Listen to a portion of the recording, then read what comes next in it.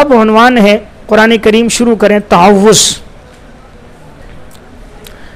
قرآن دے۔ تعوض کسے کہتے ہیں؟ تعوض کا معنی ہوتا ہے پناہ پکڑنا۔ پندرہ لائن والا۔ تعوض کسے کہتے ہیں؟ پناہ پکڑنا۔ دیکھیں قرآن کریم جب انسان شروع کرتا ہے تو سب سے پہلے پڑھتا ہے اعوذ باللہ من الشیطان الرجیم۔ اور اس کے بعد پھر وہ تسمیہ بسم اللہ پڑھتا ہے، پھر وہ اپنی تلاوت کا آغاز کرتا ہے۔ اب سب سے پہلا سوال یہ ہے کہ تسمیہ کو پر تعوض کو مقدم کیوں کیا جاتا ہے؟ تعوض کو تسمیہ پر مقدم کیوں کیا جاتا ہے کہ یعنی ہم اعوذ باللہ پہلے کیوں پڑھتے ہیں اور ہم بسم اللہ بعد میں کیوں پڑھتے ہیں؟ اس کا عکس کیوں نہیں کرتے؟ نمبر ایک۔ پہلی وجہ تو یہ ہے کہ جمہور علماء کے ہاں تعوض تسمیہ پر مقدم ہے۔ اسی وجہ سے ہم تعوض کو پہلے پڑھتے ہیں۔ نمبر دو، جمہور اہل علم کے ہاں نماز میں بھی تعوض تسمیہ پر مقدم ہے۔ تیسری وجہ یہ ہے کہ دفع مذرت یہ مقدم ہوتی ہیں جلب منفیات پر۔ دفع مذرت مقدم ہوتی ہے جلب ایک ہوتا ہے نفع حاصل کرنا اور ایک ہوتا ہے مضر چیز کو اپنے سے بسم اللہ الرحمن الرحیم میں نفع حاصل کرنا ہے۔ کہ شروع اللہ کے نام سے جو بڑا مہربان نہایت رحم والا ہے۔ اور اعوذ باللہ میں دفع مضرت کہ یا اللہ میں پناہ میں آتا ہوں شیطان کے شر سے۔ جو دھتکارا ہوا ہے تو یہ دفع مضرت ہے۔ اور ضابطہ یہ کہ دفع مضرت مقدم ہے جلب منفیات پر، اس لیے اعوذ باللہ مقدم ہے۔ بسم اللہ پر۔ کوئی بات سمجھ آ گئی؟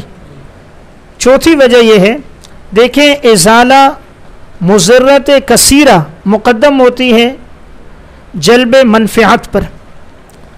منفیات قلیلہ کے مقابلے میں کس کو ترجیح دی جاتی ہے؟ مضر چیز کو دور کرنے میں۔ اس کی مثال یوں ہے، ایک آدمی ایک سامان فروخت کر رہا ہے۔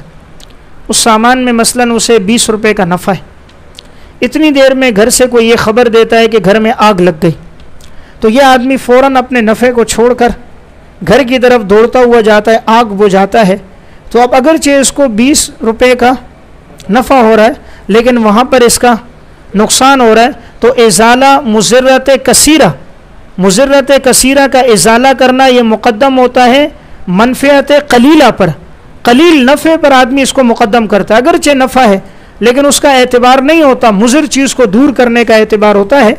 تو نفع کبھی زیادہ بھی ہو، تب بھی انسان نفع کو نہیں لیتا۔ کس کو دیکھتا ہے؟ مضر چیز سے اپنے آپ کو بچانا۔ تو چونکہ اعوذ باللہ میں یہ ہے، اس لیے اعوذ باللہ مقدم ہے۔ یا ایک اور طرح سے اس کو سمجھو۔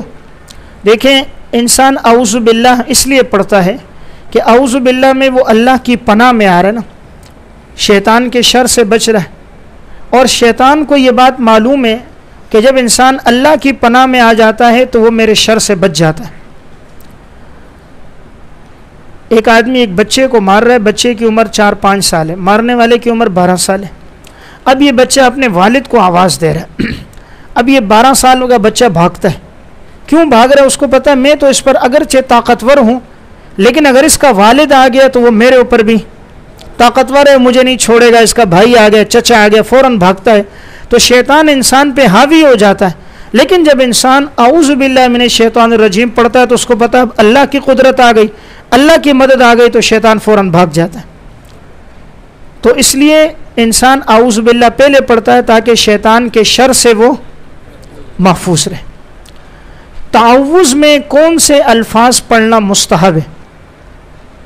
تعوض میں بہتر ہے۔ اعوذ باللہ من الشیطان الرجیم۔ پڑھنا اس لیے کہ قرآن کریم میں جو آیت ہے، اس میں اللہ رب العزت نے فرمایا فیدا قرأت القرآن فاستعذ باللہ من الشیطان الرجیم تو چونکہ اللہ رب العزت نے جو الفاظ بتائے ہیں، وہ اسی یہی الفاظ ہیں، اس لیے بہتر ہے آدمی یہی الفاظ پڑھے۔ تو گویا ان الفاظ کی تائید کس سے ہے؟ قرآن کریم سے، اس لیے یہی پڑھنا اولا اور بہتر ہے۔ پھر یہی الفاظ ثابت ہیں آپ صلی اللہ علیہ وسلم سے۔ صحیح بخاری کتاب الادب کی روایت ہے۔ ایک صحابی فرماتے ہیں کہ آپ صلی اللہ علیہ وسلم کے سامنے دو آدمی لڑ گئے اور نہایت غصے میں آ گئے۔ ایک دوسرے کو برا بلا کہنے لگے۔ غصے میں ان کے چہرے کی رنگت نہایت سرخ ہو گئی۔ قریب تھا کہ یہ لوگ جھگڑ جائیں۔ آپ صلی اللہ علیہ وسلم نے فرمایا، میں ایک ایسا کلمہ جانتا ہوں؟ اگر یہ لوگ پڑھ لیں تو ان کا غصہ بالکل دور ہو جائے گا۔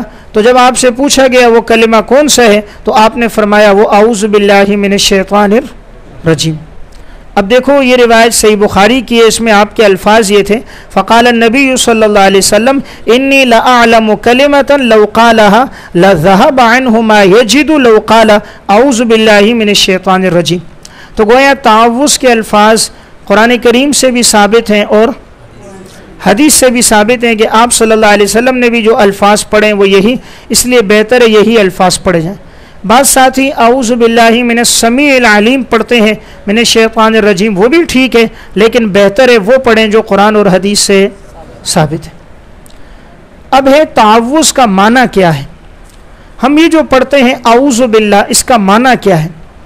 دیکھیں، اعوذ واحد متکلم کا سیغہ ہے، اس کا مطلب ہے کہ میں اللہ کی پناہ میں آتا ہوں۔ میں اللہ کی پناہ میں آتا ہوں شیطان کے شر سے۔ شیطان کے شر سے اللہ کی پناہ میں آ رہا ہوں۔ اب یہ انسان کیوں پڑھ رہا ہے؟ اس لیے تاکہ وہ شیطان کے شر سے محفوظ رہے۔ تو اعوذ کا معنی ہوا اوز کا معنی پناہ۔ باللہ یعنی اللہ کی ذات، اللہ کے میں اس میں اختیار میں آ رہا ہوں تاکہ میں بچ جاؤں۔ اس شیطان سے جو دھتکارا ہوا ہے۔ تو شیطان کی صفت کیا ہے آگے؟ الرجیم۔ رجیم آگے شیطان گویا موصوف ہے اور رجیم اس کی صفت ہے۔ تو یہ شیطان انسان کو برے کاموں سے روکتا ہے نا، اس لیے انسان اعوذ باللہ پڑھتا ہے تاکہ یہ جو وسوسے ڈال رہے وہ ختم ہو جائے اور انسان کو نیک کام کرنے کی توفیق ہو جائے۔ اس لیے حافظ ابن کثیر رحمۃ اللہ علیہ نے تفسیر ابن کثیر میں یہ بات نقل کی ہے کہ اس کے پڑھنے کا مقصد یہ ہوتا ہے تاکہ ان عوامر کو پورا کیا جائے جس کا اللہ نے حکم دیا اور انسان اس نواحی سے بچے جس سے اللہ نے بچنے کا حکم دیا۔ تعوض دعا کے معنی میں ہے۔ علامہ ماوردی رحمۃ اللہ علیہ متوفر چار سو پچاس ہجری نے النقت والعیون کے مقدمے میں لکھا تعوض بمانے کس کے؟ دعا۔ ورنہ تو آؤزو کا معنی ہے کہ میں پناہ پکڑتا ہوں یا پناہ پکڑوں گا۔ فعل مظاہرے ترجمہ حال اور استقبال کے ساتھ۔ لیکن یہ کس معنی میں ہوتا ہے؟ دعا کے معنی میں کہ اے اللہ میں تیری پناہ میں آ رہا ہوں شیطان کے شر سے۔ ہے تو وہ، لیکن بمانے کس کے؟ دعا کے۔ فعل مظاہرے کا اصل معنی کیا ہوتا ہے؟ امام راضی رحمۃ اللہ علیہ متوفہ چھ سو چھ ہجری تفسیر کبیر میں لکھتے ہیں، فعل مظاہرے جو بھی ہو، یہ حال کے معنی میں حقیقت ہے اور مستقبل کے معنی میں مجاز ہے۔ یہ جو ہم ترجمہ کرتے ہیں نا یزرب وہ مارتا ہے یا مارے گا۔ تو کہا یہ حال کے معنی میں حقیقت ہوگا اور اس کا مستقبل کا جو ترجمہ ہوگا وہ اس کا مجازی معنی ہوگا۔ تو یہ ایک ضابطہ اور اصول ہے۔ امام راضی رحمہ اللہ فرماتے ہیں، اعوذ فعل مضارع وهو يسلو للحال والاستقبال فهل هو حقيقه فيهما والحق انه حقيقه في الحال ومجاز في الاستقبال۔ کہ یہ حال کے معنی میں حقیقت ہے اور مستقبل کے معنی میں مجاز اب تعوض کا وقت کیا ہے؟ کس وقت اس کو پڑھنا چاہیے؟ تو اس کا وقت یہ ہے کہ اس کو تلاوت سے پہلے۔ قرآن کریم میں خود اللہ نے فرمایا نا کہ فیدہ قرآل قرآن جب تم قرآن پڑھنے لگو تو فستعیز باللہ تو تم اللہ کی پناہ میں آؤ تعوض پڑھو۔ تو معلوم ہوا تعوض کب پڑھیں گے؟ قرآن کریم کی تلاوت سے پہلے۔ علامہ ابن قیم رحمۃ اللہ علیہ فرماتے ان سنت و آثار الصحابہ انما جاءت بالاستعاذت قبل الشروع فی القراءة وهو قول جمہور الامت من السلف والخلف. ان کی کتاب اغاثت اللحفان من مسائد الشیطان۔ فرماتے ہیں، جمہور علماء صلفن خلفن سب کا اس بات پر اجماع ہے کہ یہ جو اعوذ باللہ ہے، اس کو قرآت شروع کرنے سے پہلے پڑھیں گے۔ اس لیے یہ اعوذ باللہ پہلے ہوگا اور تسمیہ بعد میں ہوگا۔ تو بہرحال علامہ ابن قیم رحمہ اللہ نے بھی اور علامہ ابن عاشور نے بھی التحریر و تنویر میں اس کی سراحت کی اب تعاوض پڑھنے کا حکم کیا ہے؟ تو حکم یہ ہے کہ یہ پڑھنا مستحب ہے۔ تعاوض پڑھنا مستحب ہے جمہور علماء کے نزدیک۔ حافظ ابن کثیر رحمۃ اللہ علیہ فرماتے ہیں وہ جمہور العلماء اعلیٰ ان الاستعاذت مستحبۃ تفسیر ابن کثیر میں کہ جمہور علماء کے نزدیک یہ اعوذ باللہ پڑھنا مستحب ہے۔ تو حکم کیا ہوا کہ اس کا پڑھنا مستحب ہے؟ یہاں ایک بات سمجھے کہ اعوذ باللہ تلاوت کے شروع میں ہوگا۔ اس کے علاوہ دیگر کاموں کے شروع میں اعوذ باللہ نہیں ہے، وہاں مسنون کیا ہے؟ بسم اللہ۔ اس لیے اگر ایک طالب علم استاد کے سامنے عبارت پڑھ رہا ہے تو وہ بسم اللہ الرحمن الرحیم پڑھے، وہاں اعوذ باللہ پڑھنے کی ضرورت نہیں۔ صرف یہ تلاوت کے شروع میں ہے، دیگر کاموں کے شروع میں تعوض نہیں ہے، بلکہ صرف بسم اللہ۔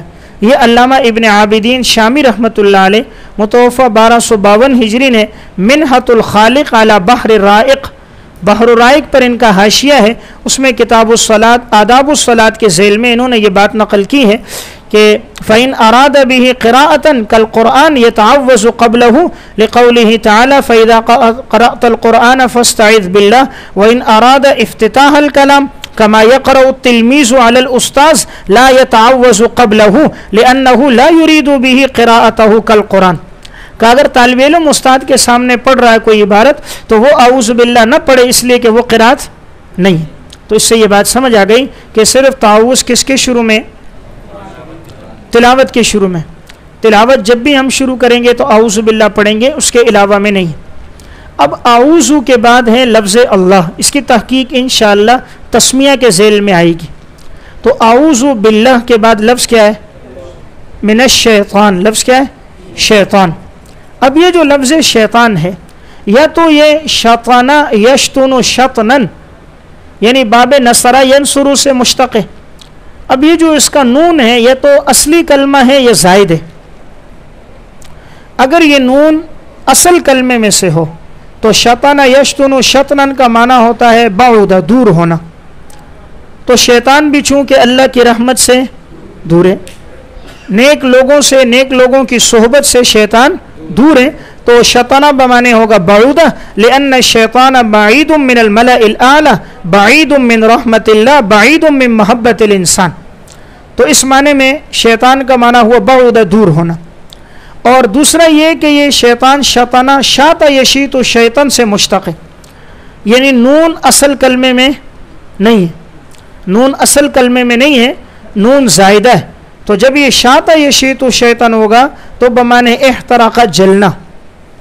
تو اس وقت اس کا معنی ہوگا جلنا۔ تو چونکہ شیطان بھی انسان سے جلتا ہے نا حسد کی وجہ سے، لأن شیطان یحترق من الانسانی حسدن کہ شیطان انسان سے حسد کی وجہ سے جلتا ہے۔ اور نمبر دو، شیطان چونکہ پیدا ہوا ہے آگ کے شولے سے تو امام راغب رحمۃ اللہ علیہ المفردات فی غریب القرآن میں لکھتے ہیں، چونکہ اس کی پیدائش جو ہوئی ہے وہ آگ کے شعلے سے ہے کہ وہ خلق الجان من مارج من نار۔ اس وجہ سے اس کو کہتے ہیں شیطان بمان جلنا کہ آگ کے شعلے سے پیدا ہوا۔ یا یہ جہنم میں جلے گا، اس وجہ سے ہے۔ تو بہرحال، لفظ شیطان کی تحقیق میں دو قول ہو گئے۔ یا تو اس میں نون اصل کلمے میں سے ہے، یا نون اس میں زائد ہے۔ اگر اصل کلمے میں سے ہو تو بمانے دور ہونا، اور اگر زائد ہو تو بمانے جلنا تو یہ دور ہے اللہ کی رحمت سے، دور ہے جنت سے، نیک لوگوں سے۔ اور اگر بمانے جلنا ہے تو یہ انسان سے حسد کرتے ہوئے جلتا ہے، یا اس کی پیدائش آگ کے شعلے سے ہوئی ہے۔ شیطان کے بعد ایک لفظ آگے ہے، رجیم۔ رجیم یہ فائل کے وزن پر صفت مشبہ۔ لیکن یہ جو رجیم ہے، صفت مشبہ، یہ کبھی بمانے اس میں فائل کے استعمال ہوتا ہے اور کبھی بمانے اس میں مفول کے استعمال ہوتا ہے۔ تو یہاں یہ بمانے اس میں مفول کے رجیم بمانے مرجوم۔ رجیم بمانے مرجوم۔ مرجوم کسے کہتے ہیں؟ یہ رجیم، رجم سے۔ رجم کہتے ہیں کسی کو پتھر مارنا۔ تو مرجوم کا معنی وہ جس کو پتھر مارے گئے۔ اس لیے اردو میں ترجمہ کرتے ہیں مردود سے۔ میں اللہ کی پناہ میں آتا ہوں، شیطان مردود سے۔ تو مردود وہی ہوتا ہے جس کو پتھر مار کے اپنے سے دور کیا گیا یعنی یہ مردود ہے۔ تو گویا یہ اس لائق ہے، اس کو پتھر مارو، نہ کہ اس کو گلے لگاؤ۔ شیطان کو پتھر مارو۔ اس لیے حج کے موقع پہ جا کر بھی چھوٹے، بڑے اور درمیانے شیطان کو پتھر مارے جاتے ہیں، ساتھ ساتھ کن کریے تو بہرحال تو یہ بمانے مرجوم یعنی دھتکارا ہوا اور پتھر مارے گئے اس کو۔ تو یہ مرجوم اس کی صفت ہے۔ شیطان کی کیا صفت ہے؟ مرجوم اب یہاں یہ لفظ شیطان کے بارے میں جیسے میں نے عرض کیا یہ تو بعض نے اس کو مشتق مانا ہے۔ پھر مشتق میں دو قول آئے، نون اصل کلمہ ہے یا زائد کلمہ ہے۔ لیکن بعض کہتے ہیں کہ نہیں، یہ اس میں جامد ہے۔ علامہ ابن عاشور رحمۃ اللہ علیہ التحریر و تنویر میں کہتے ہیں وہ دی ان اسم جامد۔ میرے نزدیک یہ مشتق نہیں ہے، بلکہ اس میں جامد ہے۔ تو جب یہ جامد ہوگا تو پھر یہ سوال ہی نہیں ہوگا کہ اس کا ماخذ اشتقاق کون سا ہے، پھر یہ سوال وارد نہیں ہوگا۔ اب یہ جو شیطان ہے، یہ اللہ کے دربار سے اس کو کیوں راندہ درگاہ کیا گیا؟ یہ کیوں مردود ہوا؟ شیطان کیوں مردود ہوا؟ یہ جو ہم کہہ رہے ہیں نا، مردود، دھتکارا ہوا، کیوں مردود ہوا یہ؟ حالانکہ بڑا عبادت گزار تھا یہ۔ کیوں مردود ہوا؟ نمبر ایک، پہلی وجہ اس نے اللہ کے حکم کو پورا نہیں کیا۔ اللہ رب العزت نے جب اس کو یہ حکم دیا کہ تم حضرت آدم کو سجدہ کر دو، تو بجائے یہ کہ یہ بدبخت سجدہ کرتا، اس نے اللہ کے حکم کو پورا نہیں کیا اور سجدہ کرنے سے انکار کر دیا۔ اللہ رب العزت نے فرمایا نا کالا ما منع کا اللہ تسجد اذ امرتک۔ تو اس نے اللہ کے حکم کو پورا نہیں کیا، اس لیے مردود ہوا۔ نمبر دو اس نے تکبر کیا۔ اللہ تعالیٰ نے فرمایا، حضرت آدم کو سجدہ کر اور اس نے آگے سے کیا کہا؟ کالا انا خیر من ہو خلقت من نار و خلقت ہو من تین۔ کہ میں کیوں سجدہ کروں؟ وہ مٹی سے پیدا اور میں آگ سے پیدا۔ آگ جو ہے، یہ تو اس میں آجزی ہے، پستی ہے، مٹی میں علو ہے۔ تو تکبر کیا، اس لیے راندہ درگاہ ہوا۔ نمبر تین، اس نے حسد کیا۔ اس کو حسد ہو گیا کہ بھئی حضرت آدم کو اللہ نے اب پیدا کر دیا سارے اس کو سجدہ کر رہے ہیں۔ اور مجھے سجدہ نہیں ہے، وہ مٹی سے پیدا ہے۔ تو اس نے کیا کیا؟ حسد کیا۔ تو گویا اللہ کے حکم کو پورا نہیں کیا۔ نمبر دو، تکبر کیا۔ اور نمبر تین، حسد کیا۔ اور نمبر چار، اللہ کے حکم کے مقابلے میں اس نے قیاس کیا۔ دیکھیں، نس کے مقابلے میں قیاس جائز نہیں۔ نس موجود نہ ہو، پھر تو قیاس کرنا چاہیے، وہ تو فقہ کا طریقہ ہے۔ لیکن اگر نس موجود ہو، اللہ ایک حکم دے رہا ہے اور اب وہاں کوئی قیاس کرے گا، وہ قیاس تو باطل ہے۔ نس کی موجودگی میں قیاس کرنا شیطان کا کام ہے۔ نس موجود نہ ہو، مسئلے کے استعمال کے لیے قیاس کرنا فقہ علماء کا کام نس کی موجودگی میں نس کو رد کرنے کے لیے قیاس کرنا شیطان کا کام ہے۔ اس نے یہ قیاس جو کیا، میں بہتر ہوں، میں آنکھ سے پیدا ہوا تو یہ نس کو رد کرنے کے لیے تھا نا۔ تو نس کو رد کرنے کے لیے اگر کوئی کرے گا تو وہ کام ہوگا ابلیس کا۔ تو بہرحال یہ شیطان کیوں بنا ان وجوہات کی بنا پر یہ راندہ درگاہ ہوا۔ اور پھر ایک وجہ یہ بھی کہ بدبخ بجائے یہ کہ یہ توبہ کر لے۔ اس نے اللہ رب العزت سے کہا تو مجھے زندگی دے، مہلت دے کہ میں قیامت تک زندہ رہوں گا اور میرا کام ہی یہ ہوگا، تیرے جتنے بھی نیک بندے میں ان سب کو گمراہ کروں گا۔ تیرے تمام نیک بندوں کو میں گمراہ کروں گا۔ کالا ربی فن ضرنی یوم یوباسن کہ مجھے مہلت دو اٹھائے جانے کے دن تک۔ کالا فعن کا من المنصرین اللہ تعالیٰ نے فرمایا، جا تجھے مہلت ہے۔ الا یوم الوقت معلوم کالا فب عزت اجمائن ابلیس نے کہا اللہ، تیری عزت کی قسم میں ضرور بے ضرور سب کو گمراہ کروں گا۔ اللہ عباد کا منہم المخلصین۔ مگر تیرے وہ بندے جو چنے ہوئے ہیں، مخلص ہیں، میں ان کو گمراہ نہیں کروں گا۔ اللہ تعالیٰ نے فرمایا، قال، فالحق والحق، اقول، یہ بات برحق ہے اور میں حق ہی کہتا ہوں۔ لَأَمْلَأَنَّ جَهَنَّمَ مِنْكَ وَمِمَّنْ تَبِعَكَ مِنْهُمْ اجمعین کہ میں جہنم کو بھروں گا تجھ سے اور تیری اتباع کرنے والے جتنے لوگ ہیں، ان تمام سے میں اپنی جہنم کو یعنی یہ بدبخت نے اللہ کی رحمت کو وہ نہیں کیا، سہارا نہیں لیا۔ یہ نہیں کہ میں توبہ کرتا ہوں، یا اللہ تجھے جی مجھے معاف کر۔ اللہ سے کہا، مجھے زندگی دے اور زندگی کا مقصد کیا ہوگا؟ تیرے بندوں کو گمراہ کرنا۔ اس لیے اللہ رب العزت نے فرمایا، جب تیرا یہ مقصد ہے، تو پھر میرا بھی یہ حکم ہوگا، میں تجھ سے اور تیرے متبین سے اپنی جہنم کو بھروں گا۔ اب یہ ایک بات سنیں۔ علامہ ابن جوزی رحمۃ اللہ علیہ متوفہ پانچ سو ستانوے ہجری کتاب تلبیس ابلیس۔ اس میں شیطان جو لوگوں کو دھوکے دیتا ہے نا، کس طرح دھوکہ دیتا ہے؟ اس کتاب کو مطالعے میں رکھیں، اس میں شیطان کے دھوکہ دینے کے طریقے علماء کو کس طرح گمراہ کرتا ہے؟ دیکھیں، مولوی کا شیطان بھی مولوی ہوتا ہے۔ مولوی کا شیطان ان پڑھ نہیں ہوتا۔ مولوی کا شیطان بھی مولوی ہوتا ہے، وہ اس کو اس راستے سے گمراہ کرتا ہے۔ تاجر کا شیطان تاجر ہوگا، قاری کا شیطان قاری ہوگا، ہر ایک کو اس کے زاویے سے گمراہ کرتا ہے۔ بادشاہوں کو کیسے کرتا ہے، وزراء کو کیسے کرتا ہے، جاہلوں کو کیسے کرتا ہے؟ علامہ ابن جوزی نے اس میں مختلف وہ ابواب قائم کر کے اس کے طریقے بیان کیے۔ ہر ایک کو گمراہ کرنے کے اس کے کیا کیا طریقے؟ اس میں ایک واقعہ لکھا۔ ایک دفعہ موسا علیہ السلاۃ والسلام کوئے طور پہ جا رہے تھے۔ راستے میں ابلیس سے ملاقات ہو گئی۔ اس شیطان نے موسا علیہ السلام سے کہا، کیا اللہ مجھے معاف کر دے گا اگر میں توبہ کروں؟ موسیٰ علیہ السلام خوش ہو گئے، بھائی اللہ تو بڑا غفور الرحیم ہے۔ اگر تو توبہ کر دے گا تو اللہ تجھے معاف کر دے گا۔ انہوں نے اس کو دعوت دی۔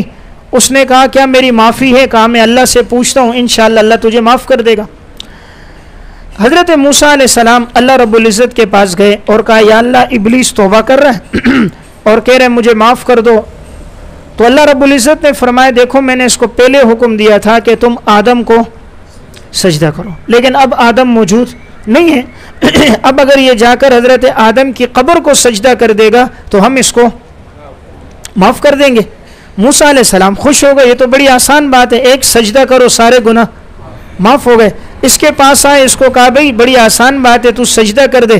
تو یہ بدبخت آگے سے کہنے لگا فستک برا و غزبا وقال، لم اسجد لہو حین اسجد لہو میتن جب زندہ تھا تو سجدہ نہیں کیا، اور مرنے کے بعد سجدہ کروں۔ تو تکبر کیا، پھر بھی اس نے سجدہ نہیں کیا۔ تو یہ بڑا خبیص ہے، بڑا ذلیل ہے، اس نے سجدہ نہیں کیا۔ اور اس نے کیا وجہ بنائی کہ زندگی میں نہیں کیا تو میں موت کے بعد بھی نہیں کروں گا۔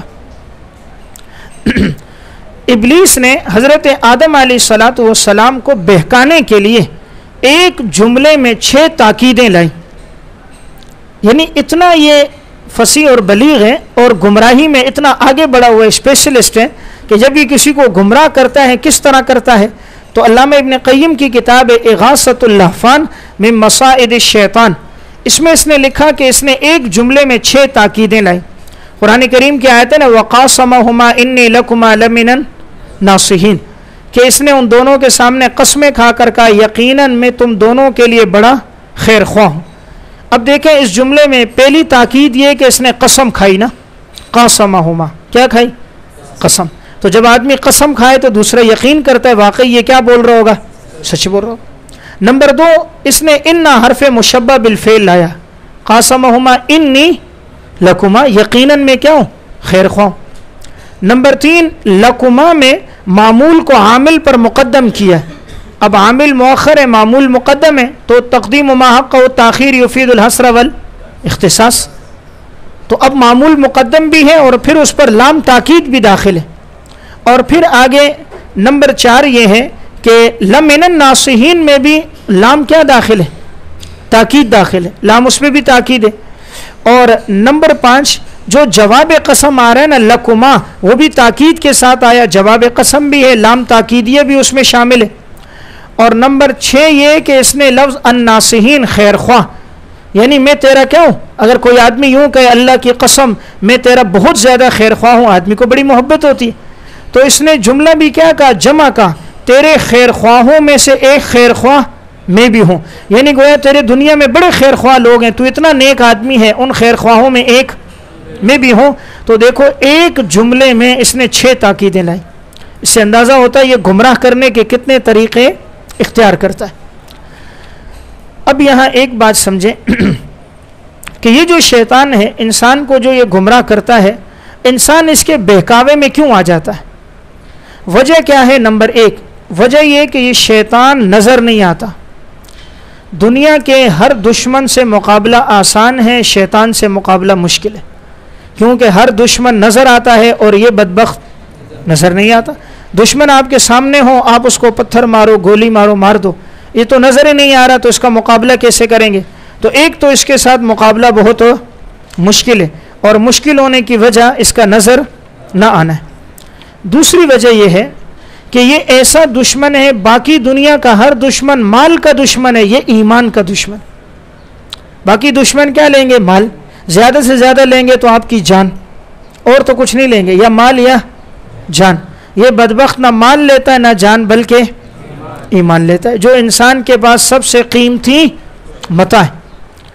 دیکھیں، اللہ تعالیٰ نے قرآن میں کانا ادو و مبین۔ کہ یہ صرف دشمن نہیں ہے، واضح دشمن ہے۔ ایک تو ہوتا عام دشمن، ایک واضح دشمن۔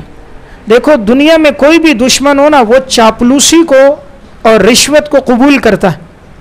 اور ابن قیم رحمہ اللہ مدارج السالکین میں اور ابن کثیر، تفسیر ابن کثیر میں کہ یہ ایسا دشمن ہے جو نہ چاپلوسی کو قبول کرتا ہے اور نہ رشوت کو کرتا ہے۔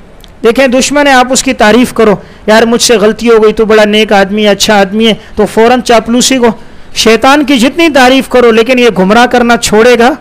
نہیں۔ دنیا کا دشمن رشوت کو قبول کر لیتا ہے اور یہ رشوت قبول نہیں کرتا، پیسہ قبول نہیں کرتا۔ دنیا کے جتنے بھی دشمن ہیں، وہ مہینے میں ایک دن آپ سے دشمنی کریں گے، ہفتہ کریں گے۔ یہ ایسا دشمن ہے، چوبیس گھنٹے کا، بچپن سے لے کر موت تک کا۔ دن ہے، رات ہے، صبح ہے، شام ہے کبھی پیچھا۔ اور ایسا بدبخت ہے، ایسا دشمن ہے، دیکھو دنیا کا دشمن موت کے وقت چھوڑ دیتا ہے نا۔ انسان اگر بہت بیمار ہو جائے، فالج ہو جائے، مرض الموت ہو جائے، بڑے سے بڑا دشمن بھی ہو، کہتے ہیں، یار چھوڑو، اب تو یہ ویسے مرنے والا ہے اور معاف کر دیتا ہے، رحم آ جاتا ہے۔ یہ ایسا دشمن ہے، یہ آخری وقت میں بھی چاہتا ہے کل میں کفر کہہ دے، کافر ہو کر دنیا سے چلا جائے۔ بھلے جتنا بیمار ہو، اس کو ترس نہیں آتا۔ یعنی ایسا دشمن ہے جس میں رحم نہیں۔ دنیا کے ہر انسان میں کچھ نہ کچھ رحم آئے گا۔ ابلیس میں کبھی رحم۔ یہ جب تک انسان کو کافر نہیں بناتا، پیچھا نہیں چھوڑتا۔ تو یہ ایسا دشمن ہے جو ایمان کا دشمن اور چوبیس گھنٹے کا دشمن، ہر وقت کا دشمن اور مرض الموت کا خاص طور پہ دشمن۔ کہ وہاں چاہے گا، انسان کو یہ کافر بنا دے۔ اور یہ ایسا دشمن ہے کہ جو اکیلا نہیں ہے، پوری اس کے ساتھ فوج ہے۔ ان یاراکم ہو وہ قبیل ہو من حیث لا ترون یہ اور اس کا پورا قبیلہ. باقی تو دشمن ہوگا، ایک ہوں گا، آپ کے دو ہوں گے. اور اس کا تو پورا قبیلہ. ہے دیکھو، دنیا کا ہر دشمن آپ کے سامنے ظاہر سے ہوگا نا. یہ ایسا بدبخ دشمن ہے، یہ جسم کے اندر داخل ہے. ان شیطان یجری من الانسانی مجرد دم. دنیا کا کوئی اور دشمن اندر داخل ہو سکتا ہے. یہ خون کے اندر کیا کر رہا ہے؟ گردش کر رہا ہے. ایسا دشمن ہے۔ دنیا کا کوئی دشمن اگر کمرہ بند کر دو، مکان بند کر دو، اندر داخل نہیں ہو سکتا، لیکن یہ ایسا دشمن ہے، ہزار تالے لگا لو، یہ پھر بھی داخل ہو جاتا ہے۔ یعنی اس کو کوئی چیز اس کے لیے رکاوٹ نہیں ہے، سوائے اعوذ باللہ پڑھنا۔ تعوض کے علاوہ کوئی اس کے لیے آپ تالا لگا لو، ہر طرح سے گیٹ لگا کے بند کرو، یہ پھر بھی اندر آ جائے۔ اور یہ ایسا دشمن ہے، ایسا دشمن یہ ہزاروں میل دور سے بھی وسوسہ ڈال دیتا ہے۔ باقی دشمن تو قریب ہوگا، حملہ کرے گا نا۔ قریب ہے، آپ کو گولی مارے گا، تھپڑ مارے گا۔ یہ سو میل دور ہوگا، لیکن پھر بھی وسوسہ ڈال کے انسان کو بھٹکا دے گا، گمراہ کر دے گا۔ تو گویا یہ سب سے بڑا دشمن ہے۔ اسی لیے اللہ تعالیٰ نے فرمایا، ان شیطان رقم ادو فت ادو شیطان تمہارا دشمن ہے اور تم بھی اس کو کیا سمجھو؟ دشمن سمجھ دیکھیں، شیطان کو کوئی اپنا دشمن نہیں سمجھتا۔ شیطان ایسا دشمن ہے نا، اگر کوئی آدمی یوں کہے کہ یار فلاں آدمی تمہارا دشمن ہے، انسان کو غصہ آتا ہے اس پر بھی۔ لیکن اگر کوئی یہ کہہ دے کہ بھئی فلاں آدمی تو ایسا دشمن ہے جو تیرے ابا وجداد کا بھی کیا تھا؟ دشمن تھا۔ تیرے باپ دادا، پردادا، تیرے پورے خاندان کے ساتھ اس نے دشمنی کی تو آدمی کو اس پر غصہ زیادہ آتا ہے۔ تو یہ شیطان وہ ذلیل، وہ بڑا دشمن ہے کہ جس نے ہمارے باپ حضرت آدم کو جنت سے اس نے نکالا۔ حضرت ہوا کو جنت سے نکالنے کا سبب کون بنا؟ تو اللہ رب العزت کہتا ہے کہ یہ شیطان وہ ابلیس ہے جس نے تمہارے باپ کو جنت سے نکالنے کا ذریعہ کون بنا؟ یہ ابلیس بنا۔ اب اس بات سے انسان کو بڑی غیرت آتی ہے نا۔ اگر کوئی بول دے، یہ تیرے باپ کا دشمن ہے، تو غیرت مند بیٹے کو غیرت، بے غیرت ہو تو الگ بات ہے۔ غیرت مند ہوگا، فوراً غیرت آئے گی میرے باپ کا دشمن ہے۔ تو اللہ کہہ رہا ہے، یہ تمہارا آف باپ نہیں، بلکہ حضرت آدم علیہ السلاۃ وسلام یہ ایسا دشمن ہے کہ تمہارے اس باپ سے بھی اس نے دشمنی کی۔ اور ایسا ذلیل دشمن ہے کہ یہ انسان کے ساتھ ایسی دشمنی کرتا ہے کہ اس کی اولاد کے ساتھ بھی کرتا ہے۔ باپ کا بھی دشمن ہے، اولاد کا بھی دشمن ہے۔ دیکھیں، انسان کو سب سے زیادہ محبت کس سے ہوتی ہے؟ اولاد سے۔ تو ایسا نہیں ہے کہ یہ آپ سے دشمنی کرے گا، چھوڑے گا، بلکہ آپ کے جانے کے بعد اولاد سے بھی کرے گا۔ دنیا کے باقی دشمن آپ سے دشمنی کریں گے، لیکن وہ آپ کی اولاد سے نہیں کریں گے۔ بہرحال، شیطان کی دشمنی سب سے زیادہ ہے۔ اور یہ ایسا ابلیس ہے، ایسا دشمن ہے جو اتنی دشمنی کرتا ہے، کپڑے اتروا دیتا ہے۔ کیا اتروا دیتا ہے؟ کپڑے۔ اب دیکھو یہ حضرت آدم علیہ السلاۃ والسلام، یا بنی آدم، لا یفتننکم الشیطان کما اخرج ابویکم من الجنہ۔ اللہ نے کہا، یہ وہ بدبخت ہے جس نے تمہارے ابا وجداد کو جنت سے نکالا، تاکہ انسان کو غیرت آئے، کہ تمہارے باپ دادا کو گلزار اور بلال سے نہیں نکالا، کراچی اور پاکستان سے نہیں، کہاں سے؟ جنت سے نکالا۔ عنہما لباس ہوما اور ایسا بغیرت ہے، یہ ان کا لباس بھی اس نے اتروایا۔ کیوں اتروایا؟ لیوریہما سوآتہما، تاکہ ان کی شرمگاہیں ایک دوسرے کو نظر آ جائیں۔ یعنی ابلیس وہ دشمن ہے جو انسان کو برہنا کر دیتا ہے، رسوا کر دیتا ہے۔ اس لیے ابلیس کے پیچھے چلنے والا ایک وقت آتا ہے، ذلیل ہو جاتا ہے۔ تو بہرحال ابلیس کی دشمنی سب سے زیادہ ہے۔ اس لیے اللہ نے فرما ان نہ ہو یاراکم وہ قبیل و منہائی صلاح ترو کہ یہ اور اس کا قبیلہ تمہیں دیکھ سکتا ہے اور تم اس کو نہیں دیکھ سکتے۔ تو بہرحال یہ میں نے اس پر بات عرض کی کہ شیطان کی دشمنی سب سے بڑھ کر ہے۔ انسان یہ جو پڑھتا ہے، اعوذ باللہ من الشیطان الرجیم۔ اب دیکھیں اس تعوض کے اندر چند چیزیں۔ نمبر ایک تعوض کے اندر ایک تو ہے استعاذہ۔ اور نمبر دو، دوسری چیز ہے مستعیز پناہ مانگنے والا۔ اور نمبر تین مستعز بھی جس سے پناہ طلب کی جا رہی ہے۔ اور نمبر چار المستعز من ہو جس سے پناہ مانگی گئی ہے۔ دیکھو، چار چیزیں ہو گئی نا۔ ایک ہوتا ہے مستعیز پناہ مانگنے والا۔ تو آؤزو میں ہم پناہ مانگنے والے۔ آؤزو میں ہم پناہ مانگنے والے۔ اور ایک ہوتا ہے کیا؟ مستعز بھی مستعز بھی کا مطلب ہوتا ہے کہ جس کی پناہ میں انسان جائے۔ تو مستعز بھی اللہ یعنی ہم اللہ کی پناہ میں جا رہے۔ ایک ہے مستعز منہو، جس سے پناہ مانگی جائے، تو ہم کس سے پناہ مانگ رہے ہیں؟ شیطان سے۔ تو اعوذ میں مستعیز ہے اور بلا میں مستعز بھی ہے اور من شیطان میں مستعز منہو ہے۔ لیکن یہاں مستعز لہو کا ذکر نہیں ہے۔ مستعز لہو کیا ہے؟ کس چیز سے پناہ مانگ رہے اب ہم کہہ رہے ہیں نا، یا اللہ میں تیری پناہ میں آ رہا ہوں شیطان دھتکارے ہوئے سے تو کس چیز میں پناہ میں آ رہا ہوں؟ یعنی کون سے شر سے پناہ مانگ رہے؟ اس کا ذکر ہے۔ تو مستعز لہو کا ذکر۔ یعنی یہ ذکر نہیں یا اللہ ہم دنیا میں اس کے شر سے بچنا چاہ رہے ہیں، آخرت میں اس کے شر سے بچنا چاہ رہے ہیں، نقصان سے بچنا چاہ رہے ہیں۔ لہو کا ذکر نہیں کیا، وجہ۔ مستاذ لہو کو اس لیے حذف کیا مبالغے کے لیے۔ یعنی یہ انسان کو اتنے دھوکے دے کے گمراہ کرتا ہے، وہ ایک دو چیزیں نہیں ہیں، وہ سینکڑوں چیزیں ہزاروں چیزیں، یا اللہ، اس کے ہر ہر شر سے میں پناہ مانگ رہا ہوں۔ نماز سے روکنے کا شر، سبق میں دل نہ لگنے کا شر، سونے کا شر، موبائل استعمال کرنے کا شر، ماں باپ کی نافرمانی کا شر، بد اخلاقی کا شر، تو یہ شر بہت زیادہ ہے۔ اگر ان کو ذکر کرنا شروع کر دیں تو جلدیں بن جائیں۔ تو اس لیے اس کو حذف کر دیا تاکہ کیا ہو جائے؟ عموم ہو جائے۔ یا اللہ، ہم شیطان کے ہر ہر شر سے پناہ مانگتے ہیں۔ تو میں نے عرض کیا، تین چیزوں کا ذکر ہے۔ مستعیز مستعز بھی اور مستعز من ہو، لیکن ایک چیز کا ذکر نہیں ہے مستعز لہو۔ تلاوت کے شروع میں اعوذ باللہ کیوں پڑھتے ہیں؟ حکمت کیا ہے اس کی؟ امام راضی رحمۃ اللہ علیہ تفسیر کبیر میں فرماتے ہیں، انسان چونکہ سارا دن منہ سے کبھی غیبت ہو جاتی ہے، کبھی حسد، کبھی کینہ، کبھی کوئی نافرمانی کا جملہ ساری زندگی زبان پہ یہ جملے آتے رہتے ہیں۔ اب جب انسان اللہ کا کلام شروع کرے گا تو اس کی زبان پر اس طرح کے گھٹیا جملے ہوں گے۔ تو اس لیے اللہ نے فرمایا، اعوذ باللہ، پڑھ کر اپنی زبان کو کیا کرو؟ پاک کرو۔ الحکمت فیہ ان العبد قد ينجس لسانه بالكذب والغیبت والنمیمہ۔